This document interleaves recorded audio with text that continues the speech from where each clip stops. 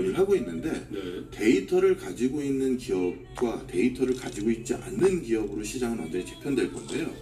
대표적으로 한 예를 들면 우리 이런 생각도 러프하게 할 수 있지 않습니까?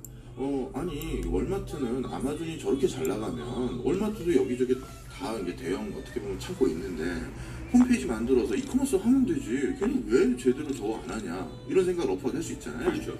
근데 월마트 입장에서는 아마존을 이길 수 없는 고유의 영역이 뭐냐면 그동안 십수년 동안 그 이커머스를 안 했기 때문에 데이터가 없어서 못 이긴다는 거예요.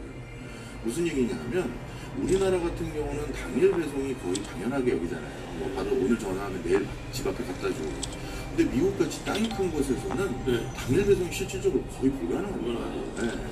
그런데 아마존은 특정 품목들에 대해서 그 범죄가 점점 늘어나는데 거의 다음날 갖다 줘요. 아, 아마존. 네, 미국에서. 있으니까 가능한. 데이터가 있는 거죠. 존슨 할아버지는 6개월마다 이 면도기를 다시 구매하네? 이런 데이터가 있는 거예요. 그럼 어떻게 되느냐? 6개월쯤 됐을 때 존슨 할아버지 근처 어떤 그 데이터 뭐죠? 그. 물류 센터에 갖다 놓는 거예요, 미리. 바로 주고 나면 갖다 드리게끔. 그런 여러 가지. 그래서 데이터를 가지고 있는 기업들의 독과점적인 걸 이제 어떻게 또 이걸 또 해결해야 되는지에 대한 고민들이 많죠. 이길 수가 없는 상황이 되니까요.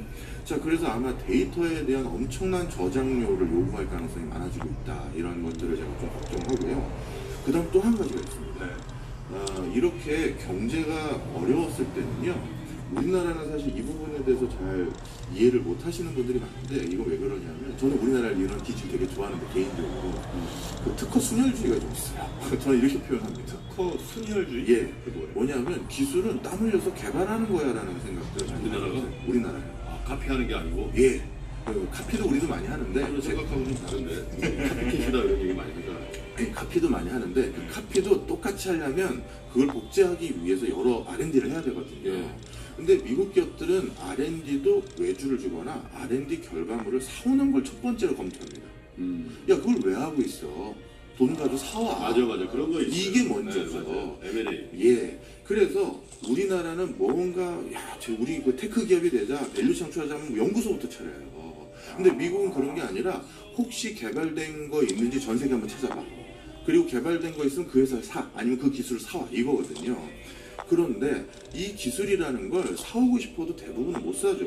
어느 회사가 자기 회사가 여러 가지 영업하려고 만든 기술을 쉽게 팔겠어요? 그렇죠.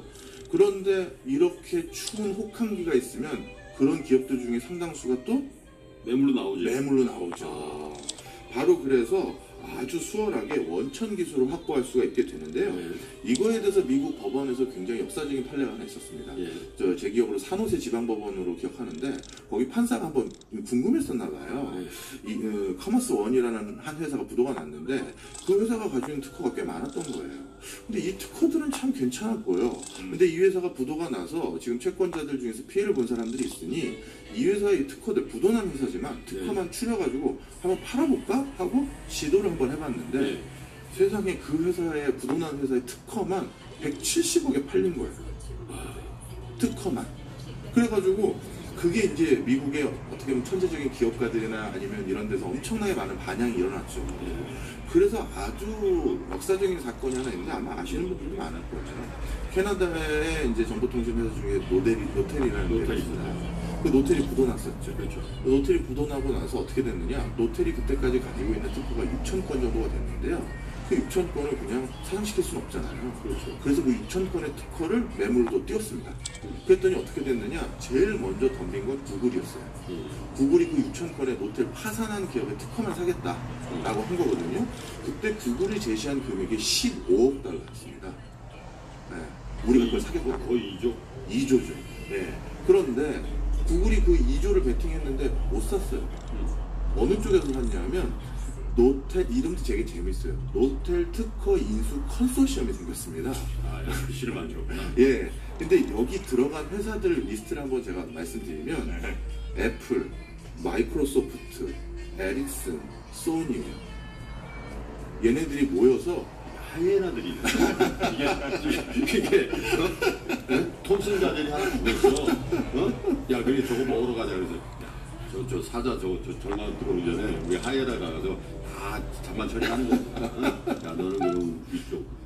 자기 필요한 거 다 갖고 가는 거야. 예, 그래서 이들 회사가 베팅한 무섭다, 금, 이. 네, 이들 회사가. 베팅한 금액이 45억이었어. 5억 달러. 그러니까 오조 넘게. 5조 정도 되는 거죠. 하기야 그 구글한테 필요도 없는 것들도 있을 거 아니야. 그래서 구글은 말씀하신 것처럼 제조 부분은 카운트 안한 거죠. 그렇지. 근데 소니는 우리는 IT 기기 부분은 우리가 가져갈게. 그 다음에 에릭슨은 통신 기기는 우리가 가져갈게. 이렇게 나눈 거예요. 머리 좋다. 네. 그러니까.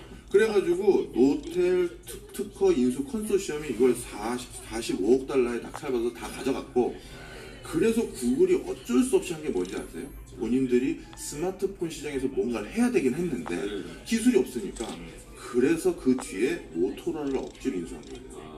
노텔 인수를 못해가지고. 못해서. 네. 그래서 그, 그 출혈이 얼마나 컸냐면 결국 남은 건 뭐 망한 회사는 싸게 살 수 있잖아요. 근데 모토로라는 망하진 않았었거든요. 망할까 이제 위험위험했던 거죠.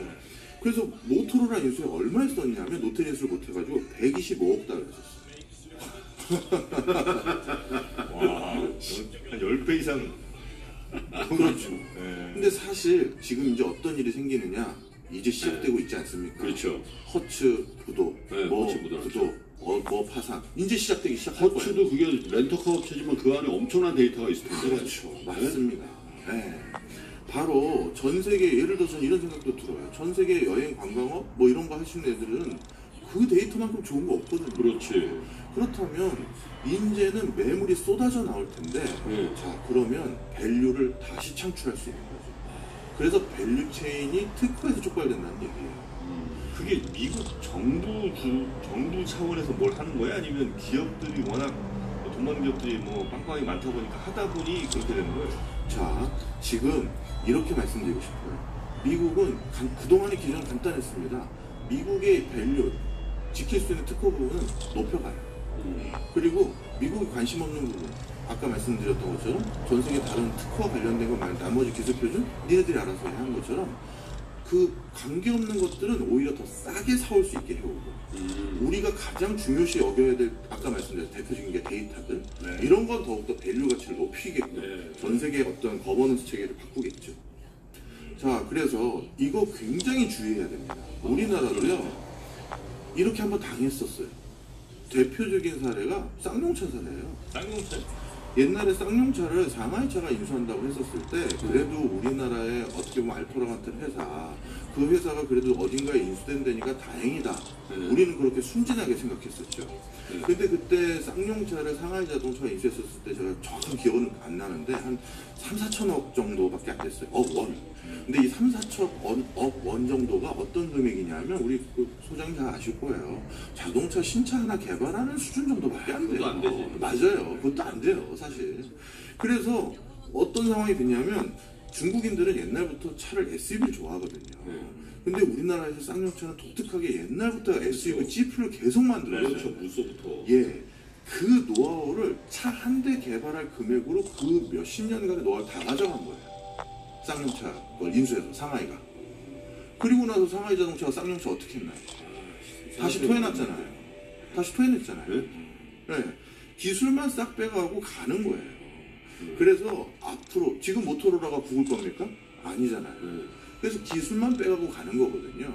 그래서 value의 거의 85%가 지금 무형 자산이기 때문에 네. 다 대주주가 돼서 열람하고 그 기술 중에 일부는 또 이상한 손자회사 만, 만들어서 야 그 기술은 다 거기다 넘겨 싸게 넘겨놓고 그건 자기네들이 컨트롤하는 손자회사 있죠 음. 그걸로 딱 도려내서 가져간 다음에 나머지 부담되는 뭐 종업원 많은 파트나 이런 것들은 다시 매물을 내놓는 거예요 그래서 value chain이 바뀐다는 게 바로 이런 맥락이에요 네. 사실 뭐 오늘 우리나라나 또, 또 인제 value chain이 또 강화되는 게 어, 진짜 이제는 창작물이 아닌 것에 대해서도 엄청난 value를 좀 부- 부여하게 되거든요. 우리 금수 강산에 있는 그냥 자연적인 서식물들 있죠. 이게 또 이제 지식재산권으로 강화되고 있어요. 쉽게 얘기해서 네? 우리나라 토착 생물에 대해서 네. 이게 다 지식재산권으로 보호를 받을 수가 있어요. 이거 한 사례만 말씀드릴 네.